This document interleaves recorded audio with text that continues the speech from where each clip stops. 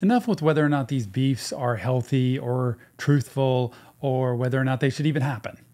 Today, I want to talk about the inside of each one of these artists and what it takes to actually get to a point where you write music like this. In short, I'm a therapist that's going to diagnose. I'm not going to give you a code out of a book. I'm going to give you my own personal slash professional opinion because I do this every day.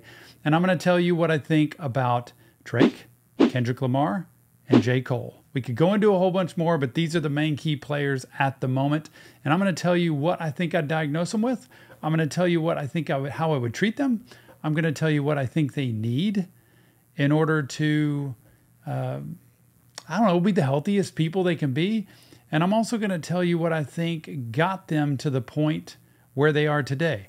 I'm not a historian. I don't know their lives. You know their lives way better than I do. You know their music way better than I do. You're going to tell me I'm wrong about dissecting their past and where they've come from and what they've lived through because you've seen all their music. It's okay. I'm going to give you the mental health perspective of what each of these guys are like. It's not going to be intentionally mean or hurtful. It's going to be my opinion as a therapist about what exactly goes into the making of somebody who would do a rap beef like this, somebody who would create diss tracks the way that they have recently, and even to the J. Cole point, somebody who would bow out of doing something like this because I think it's something that's missing when it comes to social media is forget whether they do it or not, it's fine. And if they do it again and I listen to it, I'm going to look for the mental health or mental dysfunction in it. But whether they do it or not again isn't as important as what actually created this beast to begin with.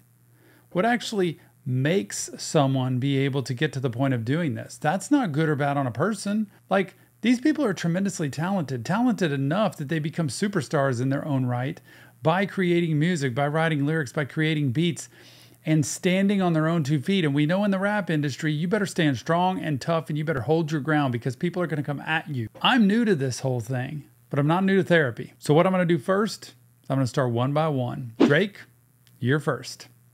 I think, this is my opinion, Drake is kind of the Hollywood of rapping. Drake is the one who is the persona of popular and mainstream and can kind of float in and out of different, maybe genres of singing and of rapping, and has a huge backing, I think, from media or some kind of money, some kind of backing and management, where he is just kind of everywhere. You see pictures of him, you see commercials, you see him flashing all over social media with different things, and he's been around a long time. The trouble that I have with Drake is he seems a little bit too confident about who he is. He seems a little bit above everybody else. Uh, people throw around the word narcissistic. I mean, I think almost everybody in this position of entertainment where they are, all of these people have to be a little bit narcissistic. They've got to have that self centered ego type thing to be able to make it and survive. But he does seem a little bit more in the self focused, look at me, I'm above everything kind of way. So, as a therapist, when I look at him, the way he carries himself, the kind of swagger he tries to walk around with, the smoothness of how he tries to talk, the way I've seen him in certain videos with women or with younger women. I saw one video where he was on stage with somebody who said she's 17. And then when he heard that, he still went up and kissed her on both cheeks and then the lips.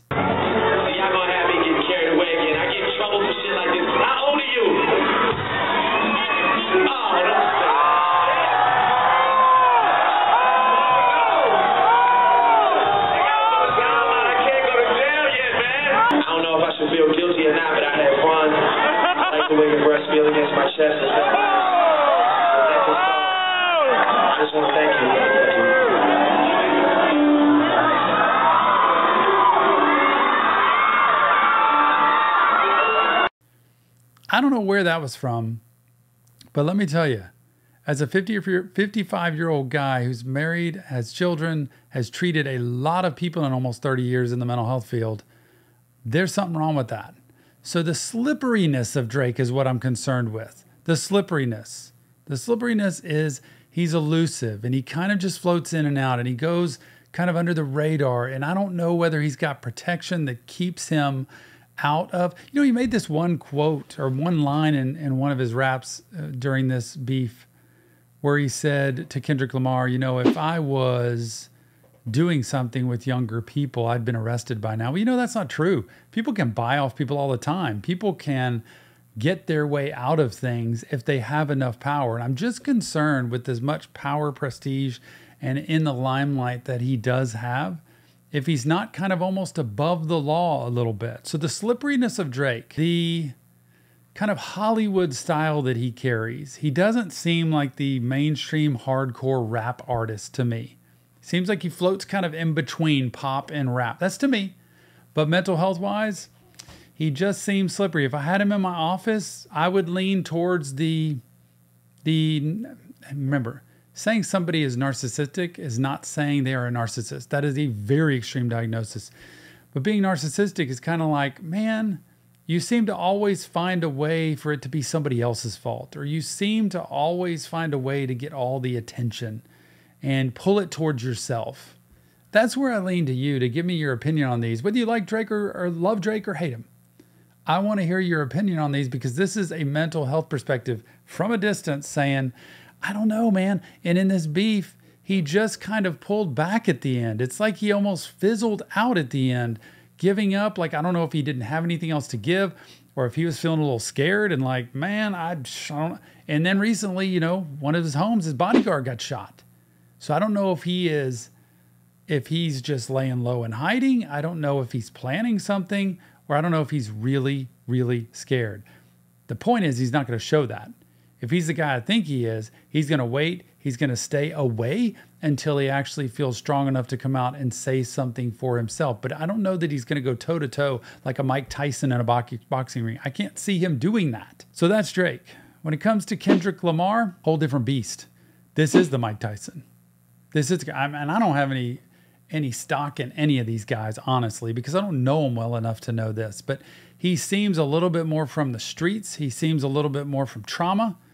Uh, and I got to say, with Drake, just going back to him real quick, with him acting the way that it seems like he has in some inappropriate situations, maybe, there has to be trauma there somewhere. There has to be some kind of trauma. That doesn't mean abuse necessarily. It just there's something going on in the history that would allow him, especially being a father, to act inappropriately at different points. Could be the limelight, could be the attention, could be a lot of things. I just can't put my finger on it. That's why it's slippery. He just is elusive and he's not going to admit to anything. He's not going to come clean. He's not going to say, Yeah, I probably need to clean this up or do this different or be better here. I'm not sure I'm going to hear that from him. Kendrick, the Mike Tyson, the Bulldog, the Viper, the guy who I feel like he got triggered in this whole situation at some point, And when he gets triggered, he goes for the throat. He is going to take you down and he is going to step on you after he takes you down. And I saw it rap after rap with this, not just in the words he used and the beat he has and the style of music, all of it. He switched up every single time he did one. He came from different angles. And when he did uh, the Meet the Grahams, I don't think that song should stay out. But I think what it showed was if you threaten me and you back me into a corner, I'm going to do everything I can to obliterate you. And I feel like he was triggered enough that he almost went outside of himself and it was happening and he was going to do it and there was no turning back. Almost when somebody glazes over, you know, and you see somebody get in a fight and they pummel somebody else and then they come to and they're like, I totally went, my eyes widened out. I was out of it and I just acted. And I feel like that's what he's done here. I feel like he has come from trauma. I feel like he has come from abuse. I don't know the therapy any of these guys have had in life. And if they have, I don't know that there's a therapist strong enough to be able to hold their ego. I would love the opportunity to sit down with them one time because I think, you know, when you get in front of somebody like this, it's this strong of a force, whether it's uh, Drake, Kendrick, or J. Cole, honestly, especially Drake and, and Kendrick, you have to be able to contain the room and you have to be able to talk to them like regular people, not talk to them like they are bigger than anything. And that's really tough to do because they come at you with a strong force, I think, over and over until you can finally break through that. But I don't know the therapies had, but people said in the Mother I video that he was not abused, that it was his mom that was abused, and he saw his mom getting abused and it was tragic and traumatic and I can imagine it was. But then there was a line towards the end of that song that hit me and it was a line that said they kept asking me over and over if my cousin did this to me and I said no, I said no, I said no. But then he said we had to watch our mothers go through this. We had to watch our mothers get abused basically.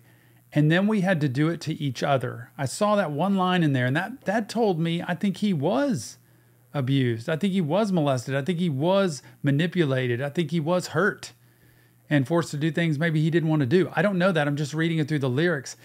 But he strikes me as a guy who's wanted to change who he is. I don't think he's been perfect. Obviously, there's accusations or proof. I don't know which one, allegedly, that he has hurt uh, the mother of his children. I don't like that. But from what I've seen, he's owned that and he's said it and he's talked about it. I, from what everything I can tell, you tell me if I'm wrong. But I think he's tried to be a different man. He's talked about God. That doesn't make anybody awesome, right? By the way, just because you talk about God and faith, it's how you live. I feel like in this instance, he went outside of himself. I think he went outside of his faith. I think he went outside of who he is as a man and became a different beast in this whole thing. And I don't think he really likes it, but I don't think he can back down from it given his personality wouldn't put as much of a narcissistic bend on uh, Kendrick. Uh, I would put more of a, a little bit more of a PTS bend on this, which creates a lot of intense anger and rage and reactivity when he gets triggered. So PTSD gets triggered even from 20 years, 30 years ago, from childhood. It can get triggered through a sound, through a sight, through words, through actions. And when you get triggered, you go back to that state. The difference is he's not a child anymore that gets abused he's an adult that's grown up and able to stand up and defend himself and he's not going to let anybody stand in front of him and try to take him or his family down and i think somehow when drake got personal to the family i think is what i've seen he reacted i think there's a lot of ptsd there and i think he's got a lot to work through with that and i don't know if he has already but this situation i think if i talk to him today privately i think he might say I went too far. I, I did it on purpose. I wanted to do it because I wanted to show him he is not who he thinks he is, and I am the guy who's going to come out on top, much like Eminem would do. And I when I do it, I go 100%, like I'm not backing down. But I don't personally. I think I went too far, and personally, I think you know if I had to do over again and and everything was clear and even, I might not go that far. Uh, because he's got the capability of going that far, but he just doesn't know how to pull it back at different times. So I think appealing to his fatherhood, appealing to his character, if that has changed, and appealing to his faith, I think he would have to. Nobody can have faith in God and do these things and write these lyrics uh, and stand there and say it's completely fine because that doesn't act in alignment with that. So that's Kendrick. Now, J. Cole he is a guy who I think has been at a different place in the past and now is in a completely different place. I think he's grown. I think he's matured. I think he's found a different peace in life. And I think he was playing along with the rap game for long enough. And then when he got in the middle of this, thought this is way deeper than I want to be in and I don't want to do this anymore. And so he backed off. And I remember that very day when I said, I'm so proud of him because I think that's what it takes is for us to stand up and be who we are inside. If you are a hate filled person and you want to pummel people and you want to take them down and you want to insult them and you want to hit below the belt, you do what you do. But if you're a person who wants to live at peace and you're a person who wants to be able to live with people and amongst people and try to be a good father and a good husband as a guy and a good friend, then you need to stand up with character. And I think that's what J. Cole did. I'm getting out of this. I thought it was the best decision ever, especially to do it so quickly. And then he can move on in life and he can live at peace and let all of that stuff play out without him being in the middle of it. Because I think he was a different person and now he is a cleaner character that just wants to be in harmony.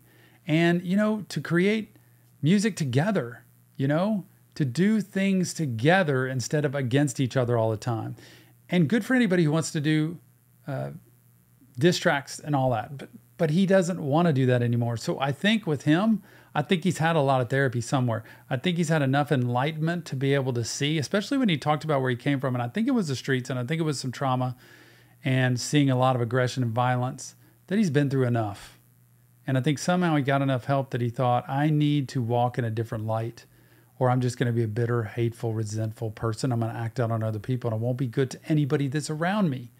And so I thought that was pretty cool. And I think he stayed in that light and kind of stayed in the background, which is more endearing and more appealing, I think, to a lot of people as the days go by. He's not worried about winning rap beefs and disses with people, he's worried about who people see him to be. Now, in terms of therapy, the challenge with treating any of these, J. Cole being the easiest, because I think he's enlightened enough to say, yeah, I've been this person and now I want to be this person. And so I've figured out a new path for myself. Ongoing therapy would be really good for him. But you know, you can't do therapy with somebody who doesn't want it. You can't do therapy with somebody who comes in, like Kendrick Lamar sat down and said, absolutely, I would never change a thing. He, I would take him out. I want him to die. I want to call him all these names. I want to treat him as small as I think he is, then I'd say, wow, it's kind of ruining your vibe, isn't it? That's kind of ruining your days. It's like he's living in your head. I don't think Kendrick would say that to me privately. I think he'd open up. I think he would share. But I think Kendrick would have to decide who am I and how much more am I going to do this? Because to stay on top, you have to be that. You have to keep doing that and find a way to do it. I would love to know what his opinion is on whether or not who he okay, how he wants to be perceived as a therapist. That's one of the questions I would ask. How do you want to be looked at? How do you want people to see you? Do you want them to see you as the guy who wrote these lyrics? Do you want to see him as the guy who wrote these lyrics? The one who's talking about um, Drake this way, and the one who's, you know, really just pummeling him this way. The one who talks about your son and your faith and where you've come to after all these years, then you have to make a choice. And let's talk about where that anger and that where that pummeling came from. Where did it come from? Where did it start? Well, it started when somebody was pummeling you, so to speak, emotionally, physically, whatever. Somebody was doing that to you, and that's where all of that began. So we go back in the past. Trauma, PTSD. Do some EMDR with him, which is a treatment that would help desensitize the brain to all of that trauma and help him whew, breathe a little bit more. So I would do some, some treatment with him. Would love that opportunity to do that because I think in time he would realize, man, I can unburden myself a little bit. I don't have to be weak. I don't have to be soft. You can still be super tough. You can still do rap beefs uh, a lot of the ways you want to. But the challenge is you can't keep doing what he just did and still say, I'm a person at peace. I'm the father I want to be. I'm in a relationship the way I want to be. I've got the character I want to be. I'm a child of God the way I want to be. You can't do those. Those two don't match up. And as a therapist, I would say these aren't congruent. So you're either telling me a story or you're believing something that's actually not possible. And that's where we break that down. And it'd be super cool to see that happen. Drake, another story. I think Drake would sit in therapy and I'm not sure he would stay, to be honest with you, because I think the more he's confronted on what I talk about with his past, with some of the things that don't match up, with the persona that he's trying to give to the world versus who he is as a real person, I'm not sure they would match up. And I think he'd get uncomfortable and I think he would maybe think it's useless and this is stupid. And I don't know why I'm bothering with this because my ego is big enough that I don't need to talk to somebody about problems because I don't have any problems. Now, if he did open up and he was honest and there wasn't that tinge of narcissism, there he would feel about uh, the the result of all of this and what place it puts him in, and he'd have to find out who he actually wants to be in this world. Not a player, not somebody who's a manipulator, not somebody who's trying to you know play a game, not somebody who's trying to take advantage of people, but somebody who's trying to give something to the world and create something for the world. But I don't know that he'd stay in therapy, to be honest with you. I think he would stop. Most of the people like him, at least this is my perception, I'm not telling you who they are because this is all just speculation of what I see. But that typical personality would have a harder time. If they were sitting in front of me, they'd be like, You're a piece of crap for judging me like that. I'm really not judging you. I'm judging what I've seen, but I'd love the opportunity to see something different. It's just that I feel like Drake is behind so many walls. I guess that's what I mean. I feel like he's behind so many walls that it's hard to get into the inner circle there. And even like physically with him, emotionally, he's got so many walls that it's hard to get to the core. And I think with Kendrick Lamar, it's abrasive at the at the wall on the outside. But once you can break through that abrasive wall there that's so protective of him, then you can start to see where the wounded part is and you can actually start to heal that, which would actually make him stronger in the end. And then again, like I said with J. Cole, I think he's probably had some help and he's kind of gotten some clarity with that. But I'm telling you, it's hard to deal with egos. It's hard to deal with personalities that are so blown up. And bottom line is hurt people hurt people. You hear that a lot, right? Hurt people hurt people.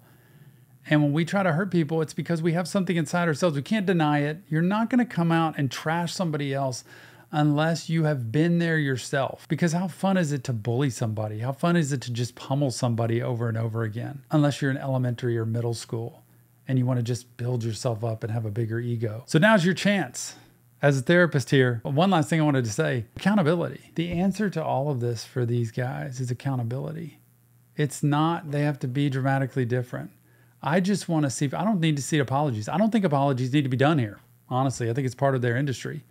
But accountability is a big thing. And I learned in graduate school as a therapist what's important, Tom, is what you do after what you've done. What's important is what you do after what you've done. When you make a mistake, what's important is what you do next. So, the accountability is I'm going to own my part of what I did. Accountability for Kendrick would be like getting to the point where he just took that that one song down that was so abrasive, especially with the children, because I'm so concerned about the children. The, that's the other thing. If you're a father and you put music out like this, you've got to know your children are going to, number one, hear that music.